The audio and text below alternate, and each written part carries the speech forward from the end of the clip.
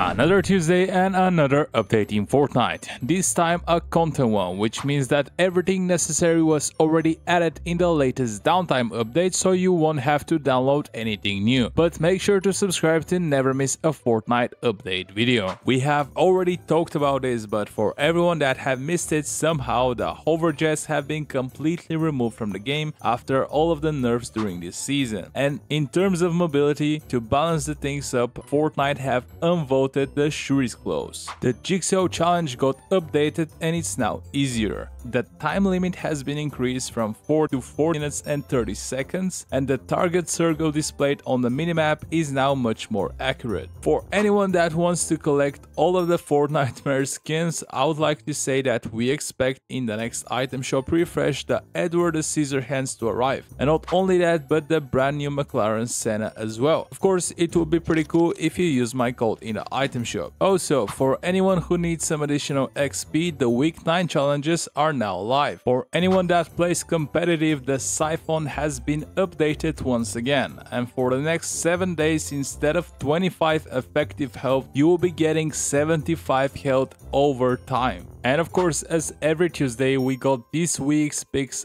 for the jam tracks that you can see on the screen right now. They should be releasing in exactly 48 hours from now. Tell me what you think about them in the comments below.